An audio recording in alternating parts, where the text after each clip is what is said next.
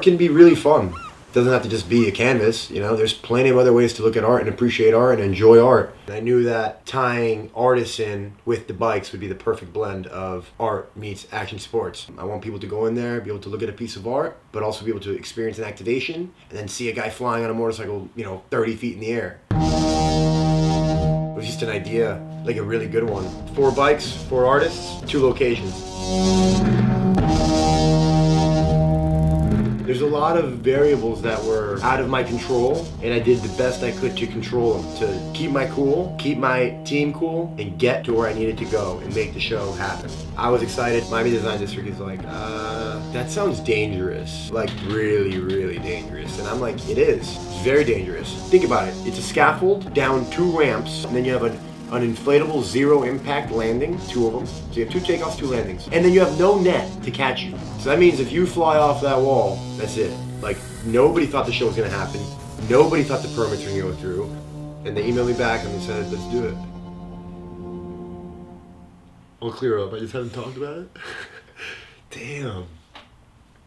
I really cared that much.